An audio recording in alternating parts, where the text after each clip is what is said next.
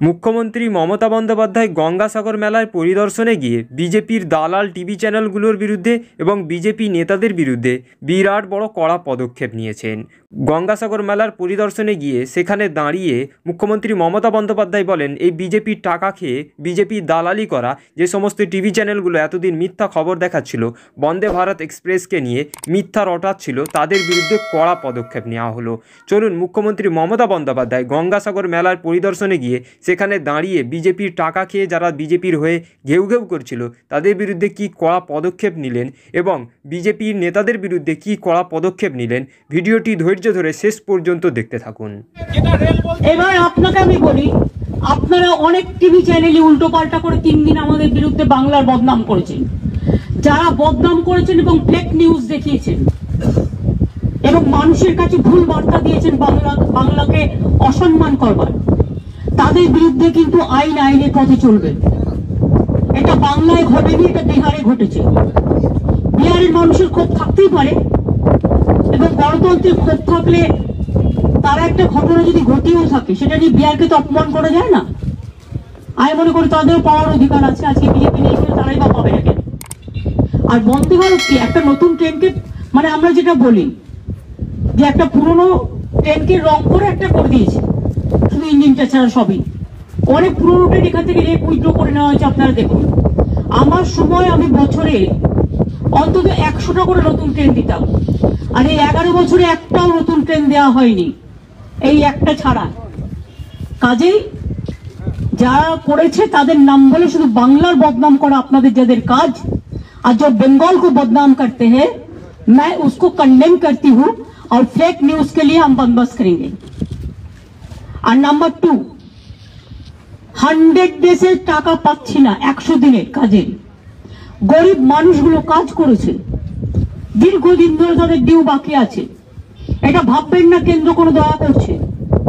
এখান থেকে কেন্দ্রীয় সরকার জিএসটি করে নিয়ে যায়। জিএসটি মানে সব সেন্ট্রাল ট্যাক্স। এখন একটাই ট্যাক্স। রাজ্য কোনো ট্যাক্স বসায় না। কেন্দ্র, রাজ্য মিলে ইনকাম ট্যাক্স থেকে শুরু করে কাস্টমস ট্যাক্স থেকে শুরু করে অল ট্যাক্স। এখন ইউনিফর্ম সিস্টেম হয়ে গেছে। ইভেন জিএসটির যে কম্পেনসেশন সেটাও আমরা পাইনি। এবং যে ট্যাক্সটা তুলে নিয়ে যায়, তাতে আমাদের যে ভাগের টাকাটা, সেটা আমাদের দেওয়া প্রয়োগ দেয়। এটা দয়া করে না। এবং সেক্ষেত্রে আপনারা বলুন, কোন রাজ্য তো বাকি নেই, বাংলা এক নম্বর হওয়া সত্ত্বেও একশো দিনের কাজে। কেন বাংলাকে টাকা দেওয়া হচ্ছে না? কবার করে বলব। কতবার করে এক কথা বলতে হবে। আর পলিটিক্যাল কারণে মাঝে মাঝে A team B team C team D team A to Z team আর কত টিম পাঠাবে? একটা পটকা ফাটলেও চলে আসছে এ টিম কারও ঘরে টাকা থাকলেও, তার নিজস্ব ব্যবসার টাকা থাকলেও চলে আসছে বি টিম কারও তিনতলা বাড়ির টাকা দিয়েছে যারা আগে ছিল আমাদের সাথে, তাদের সব আমরা কেটে দিয়েছি। কারণ একটা এনকোয়ারি করা হয়েছে কমপ্লেন আসার সাথে সাথে, এবং এরকম প্রায় সতেরো লক্ষ।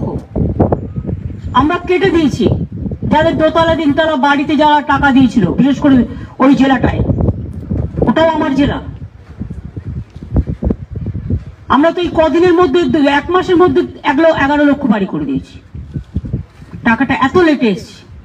তাও সব আসেনি। পঞ্চাশ লক্ষ ডিমান্ড ছিল। পঞ্চাশ লক্ষ রেজিস্টার্ড ছিল। তার থেকে সতেরো লাখ বাদ গেছে।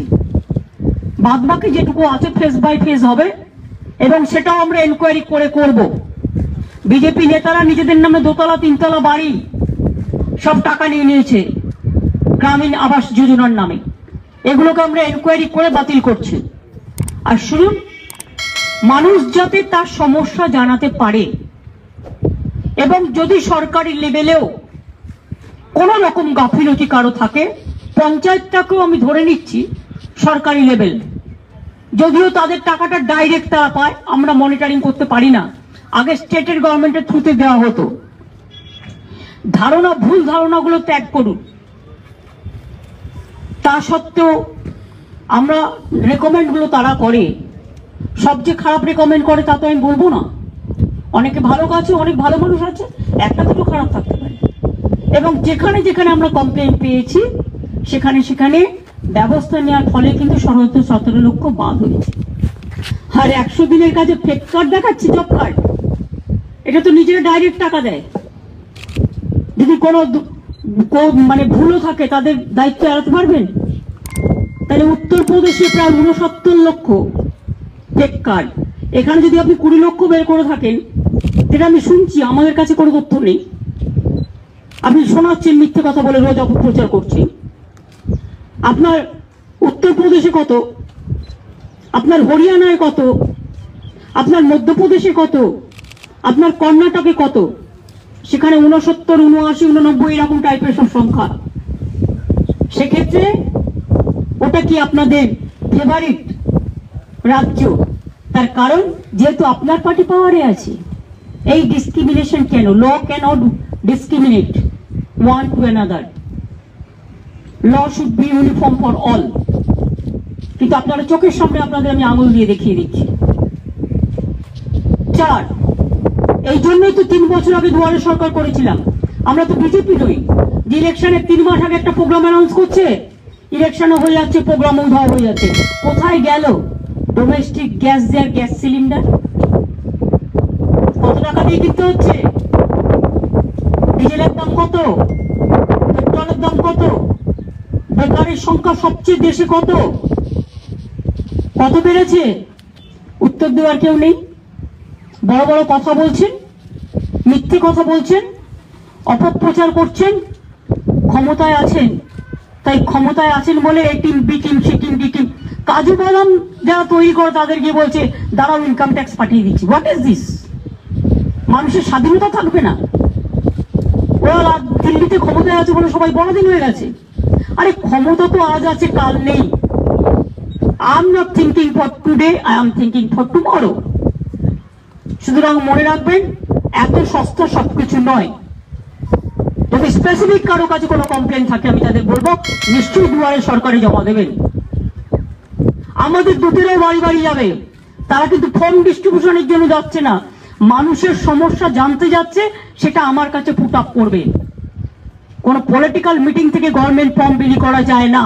ইটস এ ইলিগাল সে যেই করুক আমি করি আর আপনি করুক সেই জন্য আমরা যেটা করেছি আমাদের এতগুলো স্কিম আছে। এই স্কিম থেকে যদি কেউ বঞ্চিত হয় ধরুন একটা পরিবার দুটো পাচ্ছে একটা পরিবার দশটা পাচ্ছে একটা পরিবার হয়তো টেকনিক্যাল রিজনে আটকেছে মানুষকে বোঝাতে হবে তো। কারণ আমি ঝাড়গ্রাম দিয়ে যাচ্ছিলাম। একজন সত্তর বছরের বয়স্ক মহিলা আমাকে বলছে আমি বললাম, রেশন পান? বলল হ্যাঁ। স্বাস্থ্যসাথী পান বিধবা ভাতা পান হ্যাঁ কন্যাশ্রী পাই না। আমি বললাম, "মা- মাসিমা কন্যাশ্রী তো ছোটদের জন্য, এটা তো স্টুডেন্টদের জন্য। আপনি তো পড়াশোনা করেন না, তাই কন্যাশ্রীটা আপনার নেই। এটা তো রেগে গেলে চলবে না, তাকে হবে। এখানে মনে রাখবেন, সব তপশিলি বন্ধু, ষাট হয়ে গেলেই পেনশন